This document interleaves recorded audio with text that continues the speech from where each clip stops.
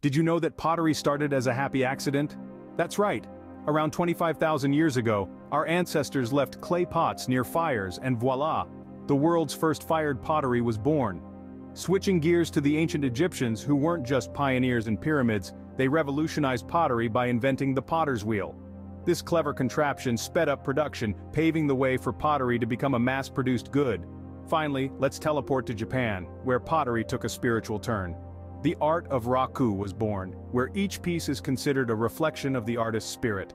That's one way to put your soul into your work. Who knew pottery had such a fascinating evolution? Stay tuned for more intriguing snippets from the world of art. Don't forget to subscribe.